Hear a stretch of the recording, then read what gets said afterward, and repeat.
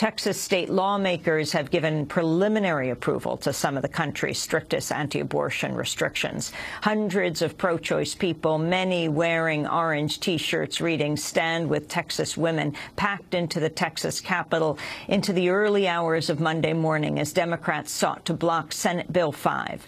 Critics say it will shut down 37 out of 42 abortion clinics in Texas, leaving just five clinics across the entire state. The bill would ban abortion after 20 weeks, place restrictions on the pill form of abortion, require providers to obtain admitting privileges at a local hospital, and force clinics to make costly upgrades in order to meet the standards of ambulatory surgical centers.